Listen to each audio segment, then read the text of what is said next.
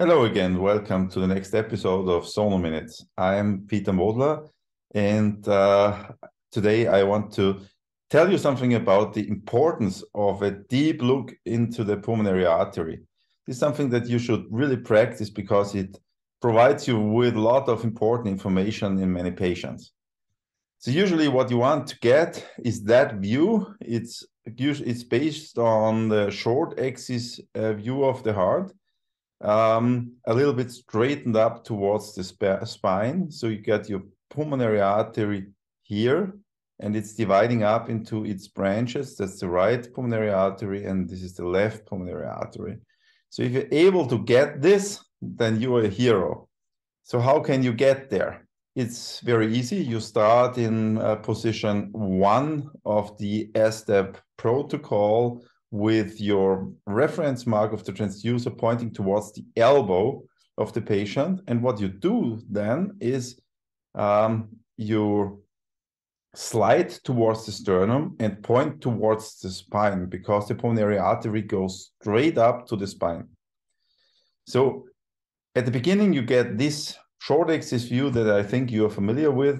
So the aortic uh, uh, valve is in the middle there's the left atrium here. This is the right atrium. This is the tricuspid valve here. This is the right ventricle. And the pulmonic valve is down here. And as you slide your transducer towards the sternum and point towards the spine, you get the main pulmonary artery and its branches. So let's go through it a little bit, a little bit slower.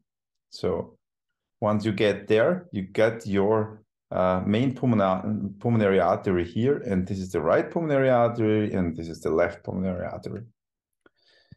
Normally, if you put color on it, you will see a blue signal with, of course, some aliasing in the middle, because once the um, maximum velocity exceeds the Nyquist limit of your uh, of your color map here, then you will have the opposite color. So once it exceeds 0.9 meter per second, you won't have any blue anymore, but yellow instead. This is what's happening here.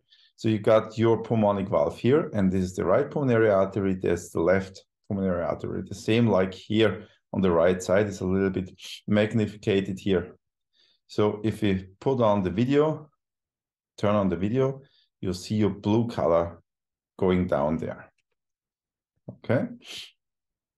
This is a case of a young dog with a volume overloaded left ventricle, as you can see. And as you look deep into the pulmonary artery, you can already see that there's a nice PDA down here. So there's the right pulmonary artery there. You can't see the left one here, but there is the PDA here. This, this is the ampulla and the aorta is down there. Yeah. So even if you don't have any Doppler turned on, you already know what the reason for the volume overload is because you see that PDA down there. And this is important because the surgeon wants to know if there is a PDA or if there is not a PDA. So just a little bit of a continuous signal does not always help. He want this surgeon will like to know what the PDA looks like, maybe the size of the PDA, so it's essential to look down into the pulmonary artery to, to make sure that there is a nice PDA visible. And once you turn on your color Doppler, you will see the continuous flow through the PDA towards the pulmonic valve. This is, as you know, typical of the PDA. And this is the flow profile of the uh, spectral Doppler, indicating a normal pressure difference between the systemic and pulmonary circulation.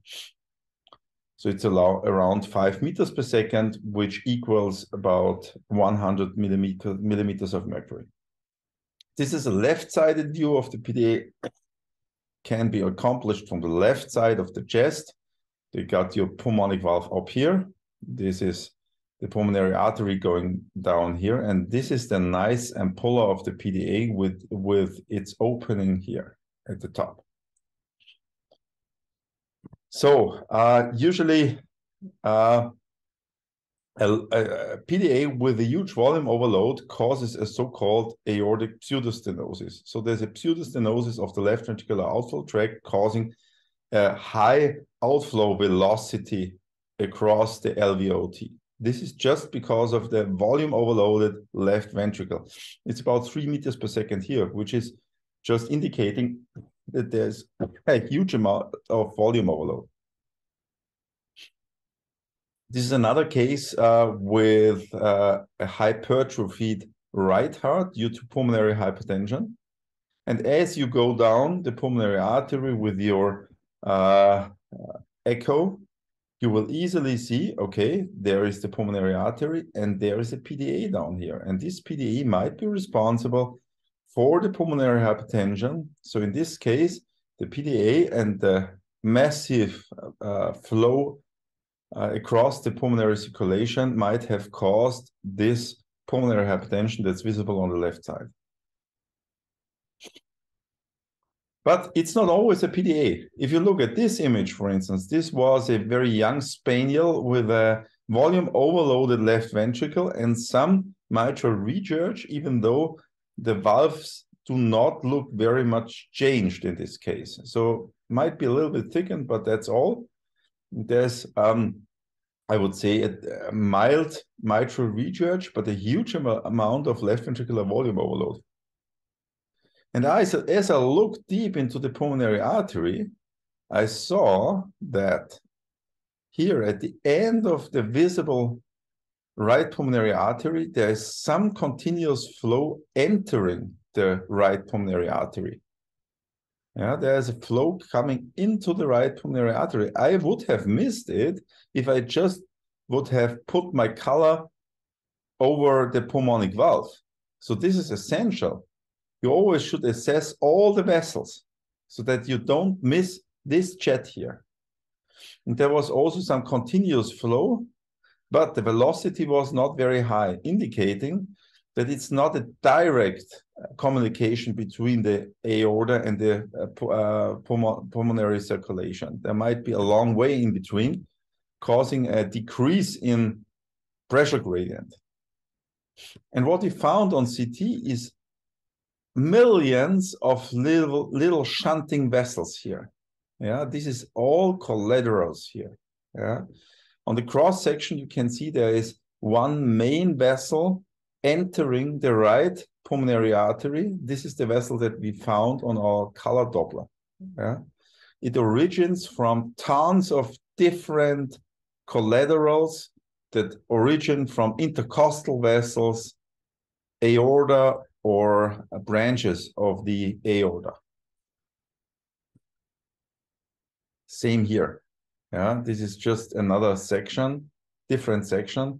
So on this uh, coronal view, you see the shunting vessel here, the main shunting vessel entering the right pulmonary artery with this huge amount of collaterals there. Same here. This is this vessel entering the right pulmonary artery. Another differential diagnosis, look at these patients, for instance. It's also a volume overloaded left heart. By the way, the right heart is also a little bit large. There's also some mitral regurg present, but the valves do not look so much changed. A little bit, yes, but not too much. And when we look down into the pulmonary artery, we see some continuous flow, but it's not originating from the aorta directly into the left pulmonary artery as with a PDA. So a PDA always ends up at the beginning of the left pulmonary artery, but it's coming out from a coronary vessel. So it's just coming out from a coronary artery and ending up inside the main pulmonary artery at the level of the pulmonic valve. This is a coronary fistula in this case. So it's essential. I mean, if you just see a, co a, continuous flow here, you might think, okay, could be a PDA or something different. And if you send them for surgery, the, and the surgeon starts looking for a PDA and won't find it, he would be very disappointed. So it always makes sense to really thoroughly interrogate the pulmonary artery and its branches not to miss anything. This, for instance, is a tumor at the heart base causing some obstruction to flow into the left pulmonary artery. Yeah, this is a peripheral pulmonic stenosis because of a tumor. This can be a reason for a heart murmur because it causes flow acceleration here. Yeah. So if you're doing a, a murmur hunt and you don't look deep into the pulmonary artery, you might miss the origin of the heart murmur. There's another case. It's also interesting. It's a dog with pulmonic stenosis. So there's clearly a pulmonic stenosis here, some pulmonic insufficiency as well. But if you look deep into the pulmonary artery, you see these double lines down there. Can you see them? These are heartworms. Yeah, these are heartworms. And it's. It was important for me because you don't want to dilate a pulmonic valve in a dog that has heartworms in its pulmonary artery because if you disrupt the heartworm, the dog can develop some severe uh, deterioration of its clinical status. It can be end up in a shock. So it's very important to look down and not to miss these heartworms in that case. So it pays off to take a deep look into the pulmonary artery and it makes a difference for the surgeon or the interventionalist. If you if you if you see a continuous flow distal to the pulmonic valve, you need to make sure that there is truly a PDA there. Yeah. And you need to see that PDA because otherwise it could be something different and the surgeon might, uh, might be disappointed.